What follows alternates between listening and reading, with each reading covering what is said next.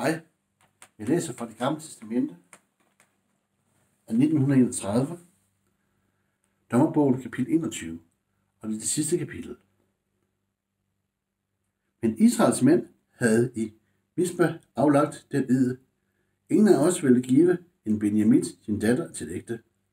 Da nu folket var kommet til Betel, sad de der lige til aften på Guds åsyn og opløftede deres røst, græd hæftigt og sagde, Hvorfor herre, Israels Gud, er, dette, er dog dette hændet i Israel, så vi i dag må savne en stamme af Israel.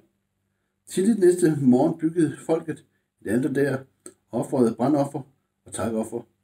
Derpå sagde israelitterne, hvem blandt alle Israels stammer undlod at drage op med forsamlingen til, til Herren. Der var nemlig svoret en, dy, en dyr ed på, at enhver, som undlod at drage op til Herren i Misba, skulle dø. Men nu gjorde det israelitterne ondt for deres broder Benjamin, og de sagde, i dag er en stamme hugget af Israel. Hvad skal vi gøre for dem, der er tilbage, og skaffe dem hustruer, eftersom vi har svoret ved Herren, at vi ikke vil give dem nogen af vores døtre til ægte. Så spurgte de, er der måske en af Israels stamme, som undlod at der var op til Herren i Misba.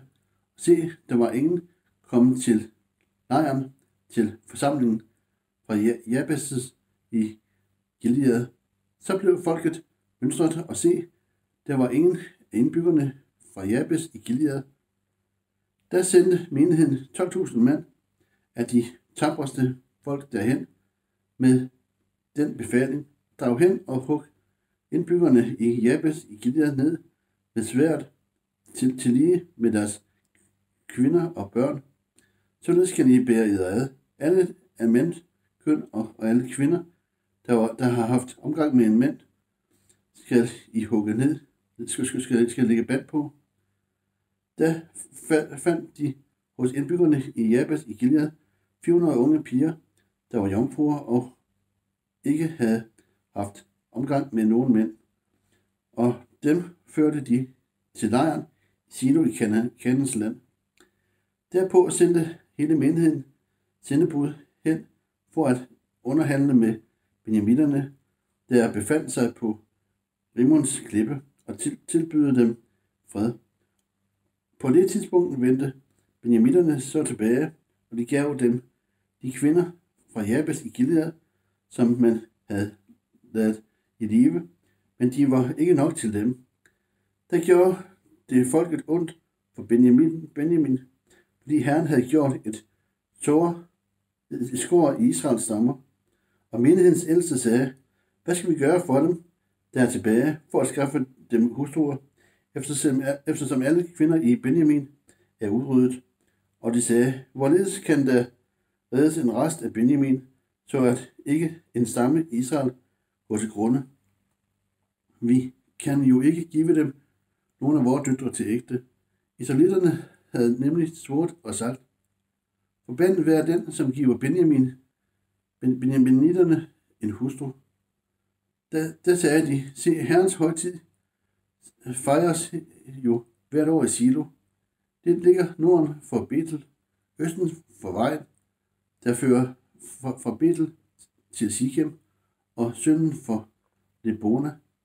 Og de bød benjaminerne gå hen og lægge eder på lur i vingårdene. Se så nøje til, når de unge kvinder og Silo kommer ud for at opføre deres danse. Skal I komme frem af vingårdene og røve hver sin hustru af de unge kvinder fra Silo og så drage hjem til Benjamins land. Når så deres fædre eller brødre kommer for at gå i rette med jer, skal I sige til dem, skån os til vi fik os ikke alle en hustru i krigen. Det er, ikke, det er jo ikke eder, der har givet, givet os dem. I så fald, måske jeg starte lige forfra. Skål os til, vi fik os ikke alle en hustru i krigen. Det er jo ikke eder, der har givet os dem. I så fald ville I have forbudt eder. Det gjorde benjamitterne da, og de tog sig hustruer af de dansende kvinder, som, som de røvede en til hver. Derpå vendte de tilbage til deres arvelod, opbyggede deres byer og boede i dem. Og samtidig tog israelitterne derfra, hver til sin stamme og slægt, og de gik derfra hver til sin arvelod. I, I de dage var der ingen konge i Israel. En hver gjorde, hvad han fandt for godt. Det var det kapitel.